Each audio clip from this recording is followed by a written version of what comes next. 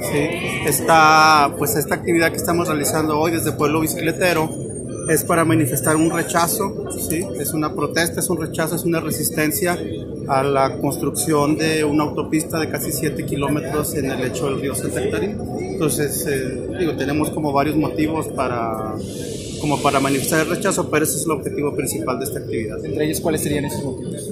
Eh, bueno, uno es como nosotros somos como parte de un, objetivo de nuestra organización corresponde a la promoción de la, de la, movilidad sostenible y esto implica precisamente como el favorecer otras maneras de traslados, entre ellos, pues nosotros, saben ustedes, la bicicleta, pero también las personas que caminan, el transporte público y como lo sabemos, como en la parte baja de la pirámide de la movilidad, pues la la promoción de infraestructura para el uso masivo del carro. Entonces nosotros, nosotros decimos que este proyecto favorece más el uso del carro particular que otras, otras digamos, otras modalidades de traslado. Ese es uno, ¿no?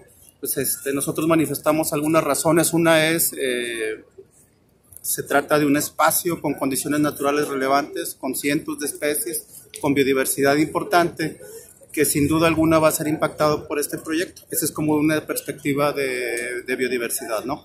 El otro, que también es súper importante, nosotros pensamos que para toda la zona metropolitana de Monterrey, eh, las, los casi 7 kilómetros donde se plantea la construcción de este proyecto está identificado como una zona de riesgo hidrometeorológico en el Atlas de Riesgo del Estado de Nuevo León. Entonces eso nos parece también un argumento importante porque consideramos que se va a disminuir la capacidad de, de, del flujo de agua en el río Santa Catarina durante una lluvia catastrófica.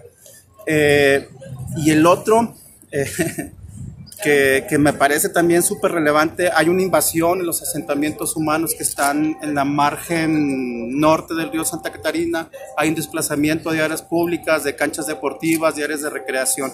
Entonces, eso se añade como también a la como a, las argumentaciones de nuestro rechazo a esta obra. Y ahí también es importante hacer una observación. Hay que tener claro que el gobierno de Nuevo León, la Secretaría de Desarrollo Sustentable, precisamente se encuentra en la integración de la política de movilidad para el Estado de Nuevo León.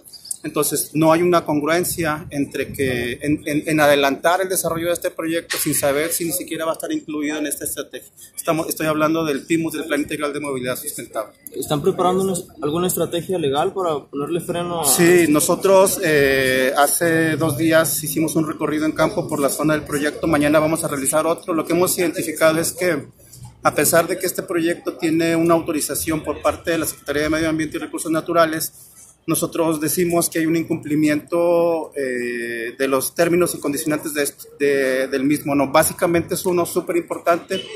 Eh, ellos tienen autorizado un trazo de 6.7 kilómetros y a, a, a, en los días recientes están haciendo el trazo del proyecto fuera de la zona que tienen autorizada. Entonces esto es grave, esto es un incumplimiento de la autorización eh, nosotros estimamos que el, el, el, martes o el miércoles estaremos integrando una denuncia popular contra quien resulte responsable por no cumplir con los términos de, de la autorización y esto amerita al menos una clausura temporal de las obras. Okay, eh, ¿Ante la Fiscalía?